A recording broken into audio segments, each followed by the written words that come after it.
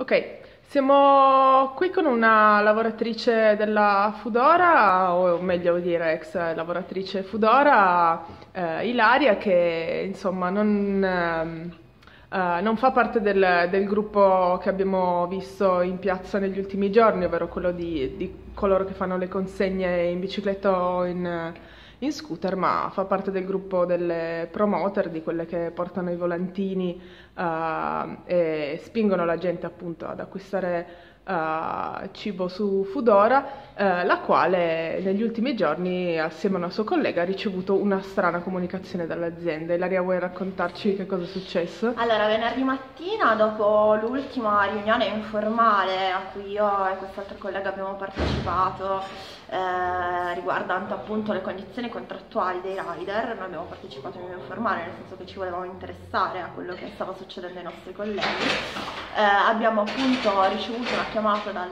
responsabile delle promoter che ci diceva di fatto che noi non avremmo più lavorato per Fudora. Il nostro contratto in realtà scade il 30 di novembre, quindi non c'è stato stracciato il contratto, non siamo in realtà state licenziate, siamo semplicemente, insomma, ci è stato detto che non avremmo più lavorato, che non ci sarebbero più stati assegnati turni perché abbiamo partecipato alla rivolta eh, dei rider. Quindi insomma io e questa collega ci ritroviamo ad oggi senza lavoro.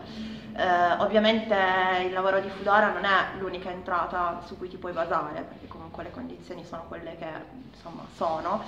Eh, e tanto quanto le condizioni dei rider, tanto quanto quelle delle promote, insomma non è che proprio navighiamo nell'oro e, e quindi insomma ci troviamo senza lavoro per aver sostanzialmente dato solidarietà dei nostri colleghi. Uh, quindi insomma questa è la nostra situazione. Quindi il vostro contratto, non pre- nonostante il fatto che sia ancora in piedi, non prevede un minimo di turni settimanali no, o no, mensili? No, no, no, no, è un contratto diciamo a chiamata, di collaborazione a chiamata, quindi in base alle tue disponibilità e in base ai turni che l'azienda mette a disposizione tu ti prenoti tramite questa, questa applicazione che ti scarichi da, dall'App Store piuttosto che dal, insomma, da Google Play e, e, ti inserisci appunto nei turni dalle tue disponibilità e poi l'azienda diciamo a sua decisione decide quali turni assegnarti o meno. Noi eh, siamo state cancellate, il nostro profilo è stato cancellato dall'applicazione quindi non possiamo neanche più vedere i turni e comunque anche se li potessimo vedere non, non ci verrebbero appunto assegnati come c'è stato detto venerdì scorso dal responsabile delle promoter di Fudora.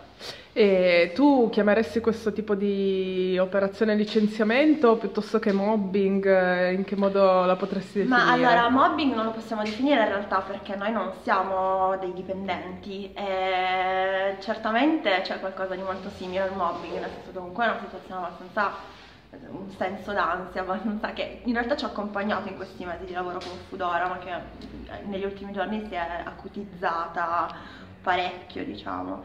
E quindi, quindi nulla. Io la chiamerei un insomma un, un licenziamento un po' particolare ma sicuramente parliamo di forme comunque di lavoro che sono eh, tra virgolette nuove o che comunque stanno emergendo e vengono anche insomma eh, categorizzate piuttosto la gig economy insomma. E quindi direi che sì in realtà siamo state licenziate ma non licenziate. Io un licenziamento non licenziamento lo definirei. Senti, um, a proposito invece delle condizioni di lavoro in cui vi trovavate quando stavate lavorando per Fudora, come funziona il ruolo e il, la turnazione uh, di questa parte del, della forza lavoro Fudora? Appunto, uh, le promoter si prenotano nei turni che vengono proposti dall'azienda, Uh, sostanzialmente le, um, sono di due tipi le attività, sono le attività di quelle che vengono chiamate hand to hand, che sono le attività di volantinaggio che vengono svolte al di fuori delle stazioni della metro, piuttosto che per strada, i sabati pomeriggio, eccetera. Poi ci sono invece degli eventi organizzati da Foodora stesso che vengono, uh, sono soprattutto eventi serali al di fuori dei ristoranti, quindi questa è assolutamente la ehm, l'attività che facciamo e noi partiamo da una paga base che è una paga oraria che è di 5,20 euro all'ora. Eh, Che è più o meno equivalente a quella dei rider. sì, no, che, che equivaleva a quella dei rider prima che appunto venisse introdotto il cottimo a 2,70 euro a consegna. Quindi c'è da dire che da- dalla nostra parte le promoter vengono trattate leggermente meglio dall'azienda perché comunque hanno una paga oraria fissa. Tu lavori 8 ore, sai che prendi quello. I rider invece è per questo che noi ci eravamo interessati anche alla loro condizione. I rider ormai possono lavorare in teoria due ore, prendere un turno due ore, ma se in quelle due ore non effettuano nessuna consegna, in realtà hanno regalato due ore alle aziende e questo è un ottimo, insomma, è un po' un regalare del tempo, ecco. E quindi questo. Ho capito, va bene, grazie. Grazie a voi.